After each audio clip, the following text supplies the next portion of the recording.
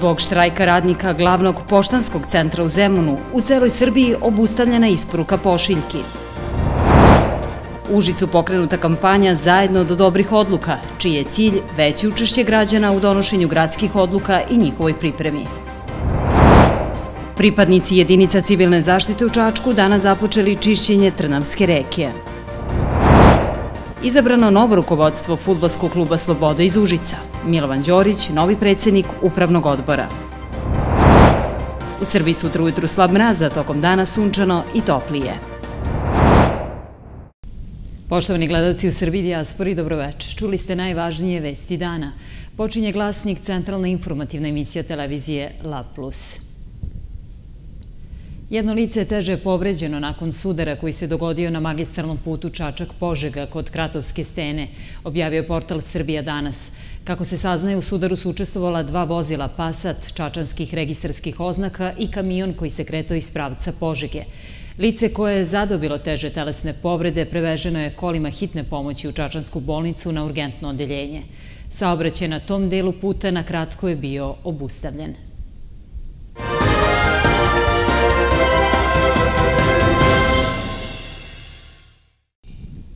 Povećanje zarada preraspodela dobiti koja se ostvari na kraju godine i ograničenje broja zaposlenih zbog čega su najveći problemi u dostavi pošiljki, osnovni su razlozi zbog kojih su obustavili rad zaposleni u regionalnom poštanskom centru Zemunu. Ovo je za televiziju LAV rekao Branko Kalajanović iz sindikata PTT-a Srbije, koji nije u štrajku, ali čiji su zahtjevi od pre dve godine identični sada sa zahtjevima kolega iz regionalnog poštanskog centra. Zaposleni u regionalnom poštanskom centru u Zemunu su se spontano organizovali, odnosno u saopštenju su istakli da to rade bez sindikata i da to nema političke konotacije. Nisu sa sindikatom jer sindikat mora da poštuje zakon kada je reč o protestu ili štrajku, odnosno ova okupljanja se moraju na vreme prijaviti. Branko Kalajanović iz sindikata PTT Srbije rekao za TV Lav da je verovatno razlog za neprijavljivanje protesta ili štrajka postojanje velikog broja zakonskih ograničenja i da bi se sve to ispoštovalo potrebno je vreme, a zaposleni u centru su ogorčeni i zato su se samo organizovali. Oni nisu obustavili rad iz besa, nego iz muke, iz očaja. Na takav način, znači jednim eh, građanskim buntom, jednim uh, jednom da kažemo ovaj samo organizovanim štrajkom koji nije u zakonskim okvirima ali jednostavno ovaj plod je te ogorčenosti ljudi se ovaj udružuju okupljaju praktično ovaj odbijaju da rade i kad se stvori kritična masa nezadovoljnih ljudi onda to ne poznaje zakonitost. Čačan i kašenje pošiljke različito komentarišu, a ima i onih koji nisu upoznati sa ovim problemom. Juče sam preuzela poštu autobusu, iz autobusa u Beogradu, iz Beograda, eto. Zbog toga što... U Beogradu i tako je, eto. Zbog toga što znači pošiljke nisu mogle brzom pomoći? Da, da, baš zbog toga. Kako komentarišete? Pa nije u redu, ništa. Bar javne službe treba da rade. Eto, toliko. Nesu, nesu. Vama nisu nikakve pošiljke kasne? Nisu ništa. Moraju ljudi da štrajkuju, šta će? Je to u redu? Pa, s neke strane možda i nije, a s neke strane oni su tako odlučili to. Branko Kalajanović iz sindikata PTT Srbije se nada da će nastala situacija u pošti brzo da se završi i da će biti potpisan sporazum sa nadležnima. Mi smo imali ponudu od strane vlade Republike Srbije ali kolege e, imaju ovaj određene primetbe i računam da će se te primetbe usko, uskoro otkloniti i da će e, pošta, da kažem se, deblokirati i krenuti sa radom daj Bože da to bude za vikend, a ako ne bude onda početkom sljedeće sedmice. Žarište spontanog okupljanja je regionalni poštanski centar u Zemunu koji predstavlja, kako je Kalajanović rekao, srce poštanskog sistema. On ima resurse da nanese velike gubitke i da blokira funkcionisanje poštanskog saobraćaja na nivou cele Srbije, zaključio je Kalajanović. Građani Užica od sada mogu preko sajta grada ostavljati predloge o nacrtima opštih akata pre njihovog usvajanja i na taj način uticati svojim sugestijama na zakonska rešenja. Predsjednik Skupštine grada Branislav Mitrović istakao je da je od juna prošle godine obaveza lokalnih samuprava da na svojim sajtovima objave početak donošenja opšteg akta, a da je gradsko rukovodstvo otišlo i korak dalje i pokrenulo kampanju zajedno do dobrih odluka, čiji je cilj veće učešće građana u donošenju gradskih odluka i njihovoj pripremi.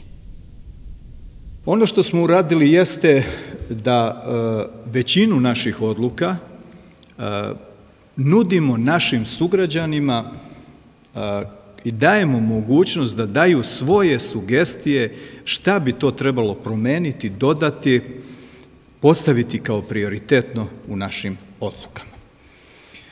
Vidite tu aplikaciju. Od juna prošle godine Ministarstvo za lokalnu, državnu upravu i lokalnu samoupravu je kao obavezujući u zakonu o lokalnoj samoupravi uvrstilo eh, da lokalne samuprave su obavezne da na svom sajtu eh, objave početak donošenja opšteg akta.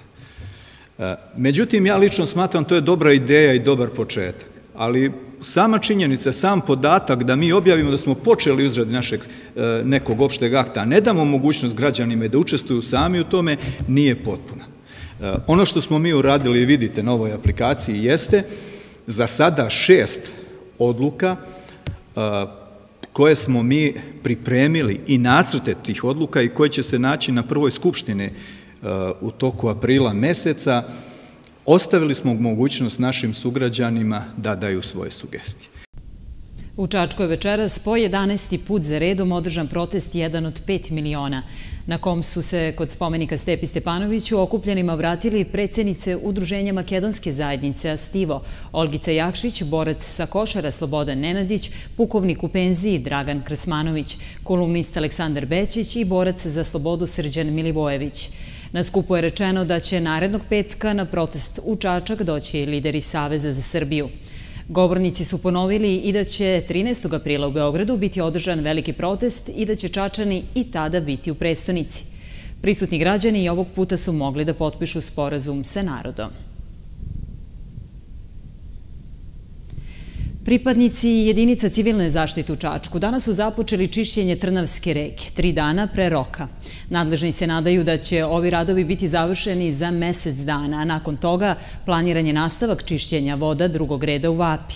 Deo Trnavske reke već je očišćen u januaru 2019. Zahvaljujući ovim radovima, meštani koji žive pored reke više neće strahovati od velikih padavina. Od januara ove godine, kada su započete prve aktivnosti jedinica civilne zaštite na Trnavskoj reci zbog snežnih nanosa, do sada je očišćeno oko 2 km ove reke. Meštani koji žive u tom delu sela sada su bezbedniji i ne strahuju od velikih padavina poput prošlogodišnjih. Pa znači dosta, bit će čisto, neće se izlivati. Tako, imao je komšija problema u radionici, mašine su mu stale, on nije dugo radio ne znam, ni još uvek gore da li je počeo da radi. Sve se dogodilo u trenu. Voda je nosila istrugana drva, seća se Milena Nevremena, koje je zadesilo ovaj kraj u junu prošle godine. Ovo dvorište je svo bilo pod vodom, moje pola. Tu mi je ušlo u ovu prostoriju, samo srećom ništa nije bilo štete, nije imalo tu nešto da može da odšteti, ono, očistiš i gotovo, sve je bilo. Ovde u prizemlje je malo falilo da uđe. Izlazeći u susret meštanima, jedinice civilne zaštite danas su uklonile rastinje u širini od 3 metra sa leve i desne obale u nastavku Trnavske reke, što predstavlja prvu fazu. Isti radovi biće obavljeni i na Lozničkoj i reci Botunji, a nakon toga biće raspisan tender za mašinsko izveđenje radova na ovim rekama. Biće produbljivanje, proširivanje rečnih korita, budući da evo Trnava ovde, mesna zajednica već kači na rzav, tako da će i nivo vodostaja u Trnavskoj reci sigurno biti veći. Zečević posjeća da je reka Botunja pravila velike probleme poljoprivrednicima, plaveći im imanja. Prvo ćemo, dakle, mi, jedinici civilno zaštite opšte namene, tretirati dakle, tu reku, čistit ćemo s leve i desne obale rastinje, dakle, 3 metra da bi napravili pristup mašinama. E, nakon toga će mašine vršiti produbljivanje i proširivanje rečnog korita i pravljenje nasipa. Čišćenje voda drugog reda realizuje se u skladu sa odlukom štaba za vanredne situacije koja je doneta na posljednjoj sednici. Zečevi se nada da će grad dobiti i određena sredstva u kancelarije za javna ulaganja, zašto je već konkurisano, a ona će biti investirana u mostove na Botunji i drugim rekama drugog reda. U gradskoj opštini Sevojno danas je nastavljeno asfaltiranje četiri puta. Reč je o radovima po ugovorima iz prošle i pretprošle godine. Radovi izvodi Užička niskogradnja, a sredstva su obezbeđena iz gradske kase sa učešćem građana. U naselju Crkvari danas je asfaltiran jedan krak prema Milinkovićima, koji su u ovom delu Sevojna starosedeoci. Jedan od njih, Đorđe, koji je star 77 godina, nije krio svoje oduševljenje što konačno dobija put. Ja znam, to je bilo prije, radi se podugo, razlači se, a ovo stvarno se forsira kako treba, ovo je, ovo je pravi posao i pravi i svaka čas svim organizatorima i, i, i ja se zahvaljujem na svemu što su, što su radili. Inače, u ovoj gradskoj opštini godinama unazad nije rađeno puno po pitanju putne infrastrukture, pa otuda i obećanje grada Užica da će se sve to nadoknaditi već ove godine. Istakao bi da je stvarno grad i niskogradnja i gradske strukture korektne prema građanima Sevojna i da sva obećanja koja su u prethodnom periodu davata da dolaze na ispunjenje. Grad je za ove radove obezbedio 67% sredstava, a učešće građana je 33%. Radove izvodi Užička niskogradnja, a po rečima predstavnika grada u Sevojnu je u posljednjih godinu dana urađeno mnogo toga.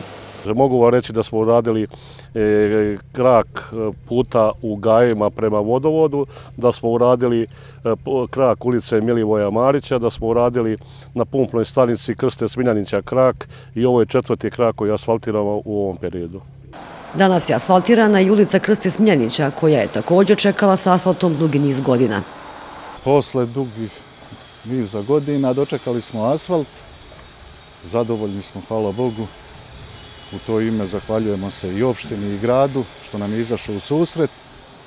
Mada smo i mi učestvovali sa nekih 30% uporedo sa radovima koji se izvodi iz ugovora za izdruživanje, niskogradnja. E, mi trenutno radimo i krpljenje kompletno glavne ulice u Sevojnu. E, nakon e, problema koji smo imali sa vodovodom i nakon velikog broja kvarova koji smo imali, trenutno se krpi kompletna glavna ulica u Sevojnu i očekujemo narednih par dana da završimo sve te radove. Inače, pored asfaltiranja mnogih ulica u Sevojnu i završetka zgrada za izbjegla lica, Čeka se izveštaj Ministarstva sporta jer je planirana izgradnja dečijeg igrališta u ovoj gradskoj opštini. Promet robe u maloprodaju u Srbiji bio je u februaru ove godine veći za 13,4% u tekućim cenama, nego u istom mesecu 2018. U stalnim cenama veći su za 10,8% prema preliminarnim podacima Republičkog zavoda za statistiku. U prva dva meseca 2019. godine promet robe u trgovini na malo je na godišnjem nivou veći u tekućim cenama za 10,3%, a u stalnim cenama za 8%. Iako u poslednjih godina država izdvaja više subvencija za podsticaj organske proizvodnje i o prednostima upotrebe zdrave hrane se sve više govori, na području Čačka gotovo da nema poljoprivrednih proizvoda koji se mogu naći na gradskoj zelenoj pijaci. Na Čačanskoj zelenoj pijaci već tri godine postoje tezge koje su namenjene prodavcima organskih proizvoda, ali sa njih još uvek niko ništa nije ni kupio ni prodao. Proizvođači koji voće i povrće proizvode na konvencionalan način kažu da je organska proizvodnja skupa, samim tim je i manje isplativa, pa je to razlog zašto se oni ne odlučuju na ovaj vid poljoprivredne proizvodnje. Međutim, ono što je najveći problem je nepoverenje kupaca. Potrošači sa druge strane smatraju da bi uprkos visokoj ceni organske proizvode povremeno i kupovali, ali da ih u Čačku nema. Organska proizvodnja nije baš toliko ni zastupljena kod nas ovde, pa jedna stvar, narod ne ver. Molim vam to reći, znači da narod ne veruje šta je organsko, šta nije. Svi misle da je to prskano, a organska hrana i neće da dati neke količine. Jedne strane cene su malo solidne, to sam video u marketima, tako da to baš bi znači razmislio ovde da uzmem. Ima jedan dekica tamo u sredini, prodaje pasulj, organski, šargarepu, celer i tako to kod njega kad pronađem, ali ne vidim da ima. Kako znate da je to organsko? Ne znam uopšte da je organsko, zato i ne kupujem. Pa bi sigurno zbog zdravlja, kako da ne. ali ja ne znam da na Čačanskoj pijaci ima i da budemo sigurni kad nam kaže da je organska. Kako možemo biti sigurni? Ko može da nam garantuje?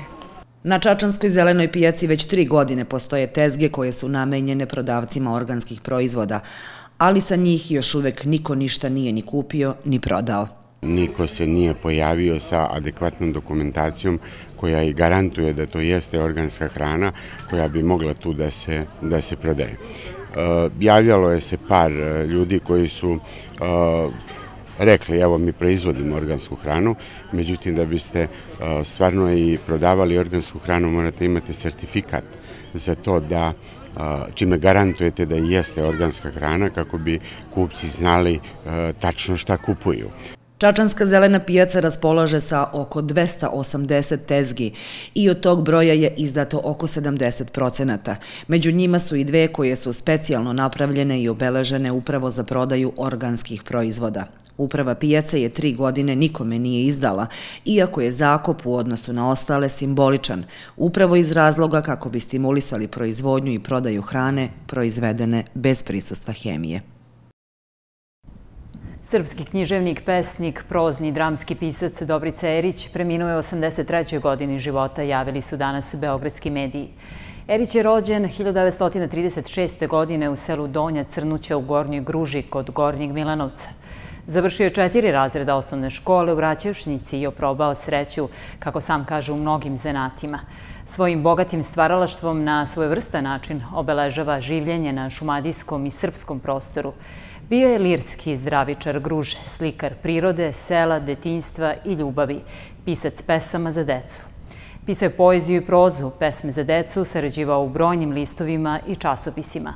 Prvu zbirku pesama objavio je 1959. godine, a do smrti više od stotinu knjiga, poezije, proze, antologija, slikovnica. Pesme su mu ušle u čitanke, antologije, školske lektire. Napisao je tekst za jednu od najpoznatijih narodnih pesama Devojka iz grada koju je otpevao Miroslav Ilić. Dobitnik je niza značajnih nagrada i priznanja. Vreme i mesto sahrane biće naknadno saopšteni.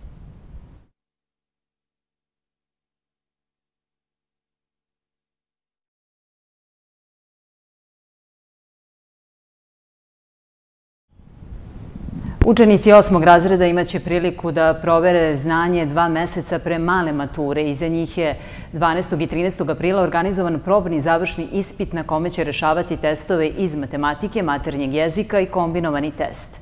Prvog dana probnog završnog ispita učenici će rešavati zadatke iz matematike, dok će drugog dana raditi zadatke iz maternjeg jezika, odnosno zadatke kombinovanog testa, koji obuhvata istoriju, geografiju, fiziku, hemiju, biologiju. Pravi završni ispit za osmake biće organizovan 17., 18. i 19. juna. Uspeh sa male mature važan je i zbog upisa u željenu srednju školu. Učenik iz osnovne škole nosi do 60 bodova, dok će na tri testa maksimalan broj bodova biti 40.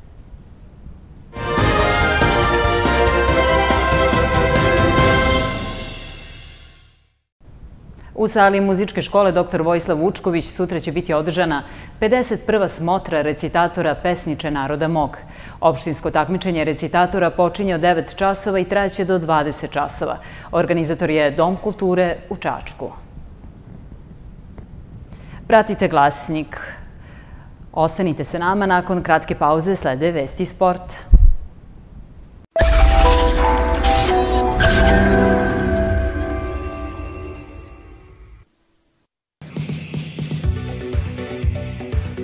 Tradicije, iskustvo i znanje na jednom mestu. U našoj školi možete steći neophodno znanje koje vam prenose licencirani predavači, instruktori i ispitivači. Teorijska obuka se izvodi u sali predviđenoj za predavanje, opremljenoj svim neophodnim učilima. Kod nas imate mogućnost izbora instruktora. Plaćanje putem administrativne zabrane na šest mesečnih rata, čekovima građana ili direktnom uplatom u autoškoli na više mesečnih rata po dogovoru sa kandidatom. Dobrodošli u Srbiju, zemlju pametnih ljudi. Kad porastam, ja ću da pravim aplikacije. Uz pomoću njih ću sve da obavim. I više ni jedna mama neće morati da čeka u redu. Samo klik i vozimo dalje. A kako ćeš to da naučiš? Deca koja budu učila programiranje od najranijeg uzrasta u budućnosti će moći da nađu bolje plaćene poslove. Ne dozvolimo da Srbija bude zemlja kolektivnog čekanja. Budimo pametni. Inicijativa Digitalna Srbija. Nismo mi majke mi. Stižem sve do pet. Života mi. Tri puta sam merio. Svega mi.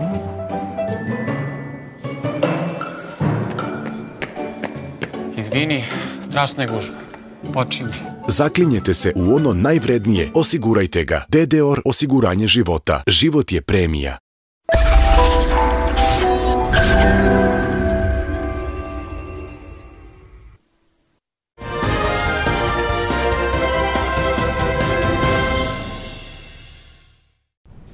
Futbolski klub Sloboda iz Užica dobio juče novu skupštinu i upravni odbor, na čijem čelu će se naredne četiri godine nalaziti Milovan Đorić, naš nekadašnji poznati futbaler. Na izbornoj skupštini odlučeno je i da se u narednom periodu uradi novi statut ovog kluba, kao i da se više računa povede o dovođenju novih mladih igrača koji bi trebalo da budu sa teritorije Zlatiborskog okruga. 35 članova broju nova skupština futbalskog kluba Sloboda Užice, čiji je predsjednik Zoran Jovičić, dok je članovima upravnog odbora na čelu sa Milovanom Đorićem ukazano poverenje u naredne četiri godine. Utvrđeni su zadaci i ciljevi, a to je pre svega. Transformacija kluba.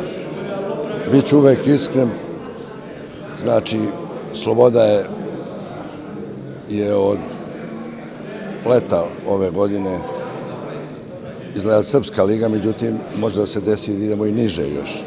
Moram da kažem, kažem, jednostavno, teški dani su. Ja sam rekao lepo, kad sam vidio ovaj tim, verujte, ja nisam vidio slabiji tim dugo godina. Đorić naglašava da će akcent biti stavljen na dovođenje mladih igrača iz ovoga kraja, kako bi se napravila jedna nova sloboda koja će igrati uzbiljniji futbal jer kako naglašava predsjednik upravnog odbora, Sloboda mora ići opet ka rangu iz koga trenutno ispada. I nekadašnje veliko ime sveta futbala, Milovan Rajevac, pomoći će Slobodi da se vrati u normalu. Moramo se boriti da Sloboda igra dobro, da e, publika dođe, da imaju šta da vide, da imamo dobar rezultat i to je to, e, znači sve na terenu, ništa van njega, jednostavno to je pravi put. Normalno, svima nama je znači sloboda prevashodno u, mislima ili ipak je sloboda brend u Srbiji. Svi toga treba budemo svesti. Bilo je turbulentno stanje, međutim, pričati o prošlosti ne treba mnogo, treba pričati o budućnosti. Izabrana je komisija koja će u narednom periodu raditi na izmeni statuta koji je pun nedoslednosti, pa će nakon njegove promene, kako poručuju iz kluba, Sloboda ponovo vratiti stari sjaj a u narednom periodu, kako je odlučeno, polako će se ići ka organizaciji proslave stotinu godina postojanja ovog kluba na Đetinji, a to je 2025. godina. Sutra se nastavlja polufinalna serija regionalnog šampionata ABA lige. Partizanis će od 19 časova dočekati Crvenu zvezdu MTS u meču u kojem će Crno-Beli tražiti pobedu i priliku da u majstorici obezbede ulazak u veliko finale. Znamo kako smo igrali sa Zvezdom u prvoj utakmici, gde smo imali šanse i poveli sa deset razlike. Znamo i šta ih je vratilo i čime su dobili meč, kaže zameni kapitena Crno-Belih Vanja Marinković, pred sutrašnji meč sa Crvenom Zvezdom. Mislim da samo e, jakom borbom i nekim trčanjem, e, time što smo e, dosta mlađi od njih, što imamo više snage, mislim da tako možemo da imamo svoju šansu u subotu. Trener Partizan Nisa Andrej Trinkijeri je rekao da sutrašnja utakmica deluje kao boks meč. Prvu rudnu su oni dobili, sada ide druga u kojoj moramo ući jače, bolje, pametnije. Ali moramo biti izuzetno pametni jer kao u boksu, ako si jako agresivan, daš prostor za još neki udarac, kaže Trinkijeri. Biće izuzetno teška utakmica. Mm, pripremili smo se. Mm, radili smo kako treba. Ali to ništa ne znači ako te iste stvari ne stavimo na teren. Očekujem vrlo tešku utakmicu, ali moramo svi jedan korak gore. Ko ekipa i ko igrači i ko treneri, svi moramo biti bolji. Kapije dvorane se otvaraju u 17 časova. Karte za sutrašnju utakmicu nisu u slobodnoj prodaji, a ulaz u dvoranu će biti omogućen vlasnicima godišnjih karata kao i vlasnicima propusnica koje su podeljene prijateljima kluba. Odbojkaški klub Čačak pobedio gostima sa 3-1 odbojkaški klub Stars u Požegi. Čačanke su otišle u podmlađenom sastavu zbog velikih obaveza u školi dela igračica. To se i osetilo u drugom setu kada su domaće igračice ponesene podrškom publike uspjele da nadigraju Čačanke u ključnim momentima i osvoje set. Ovo je bilo i sve što su devojke iz Požege uspjele i da osvoje na ovoj utakmici jer su Čačanke dominirale u servisu, bloku, odbrani i dizanju. Sve ovo je na kraju i dovelo do osvajanja tri seta i pobede od Bojkaškog kluba Čačak.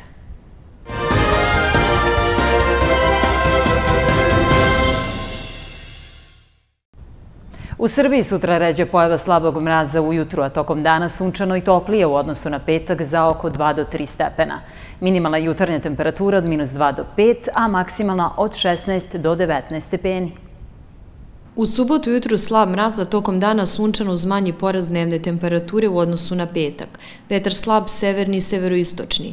Pritisak iznad normale. Minimalna jutarnja temperatura od minus 3 do 0 stepeni, a maksimalna od 17 do 19.